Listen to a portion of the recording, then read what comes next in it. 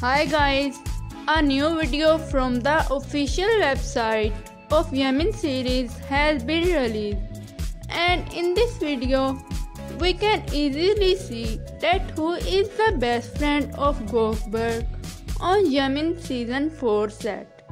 No doubt in season 1 and season 2 Özge and Gökberk were best friends and they accompany each other. But in season 4, Little Yiğit is the best friend of Gökberk, and Gökberk also spend her time with the animals at the set.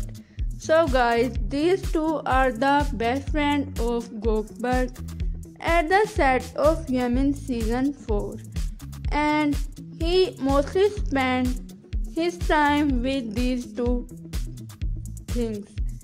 I hope you like this video. Tune into Unique Network.